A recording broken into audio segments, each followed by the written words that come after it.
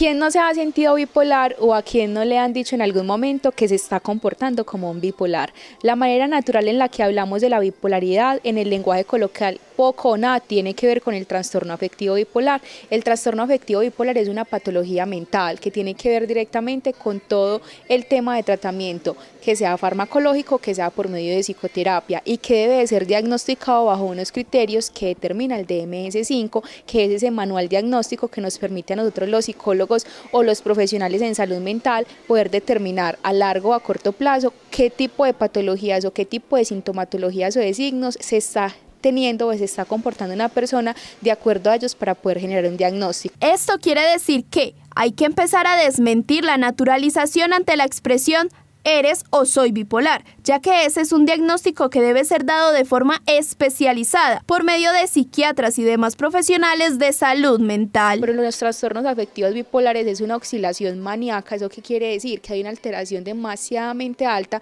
o una depresión en donde realmente en el tiempo, dos semanas depresivo, dos semanas hipomaníacos, no es algo que sea dentro de lo normal o lo natural y no hay una situación de base que nos diga que finalmente la vamos a conjeturar o la vamos a relacionar con esa situación. Esto no es una enfermedad que se dictamina de manera prematura. Hay que tener en cuenta un cierto grado de crisis debido a que hay bipolaridad tipo 1, tipo 2 y tipo 3. Dentro de las afectaciones más contundentes que tiene el trastorno afectivo bipolar es la económica. Hay una afectación económica porque de una u otra manera mi trabajo mi labor que estoy realizando no se va a desenvolver de manera natural si no estoy dentro de un tratamiento, que valga la aclaración. Adicional a eso vamos a tener la afectación relacional social, con familiares, con parientes o con las personas más cercanas, ¿cierto?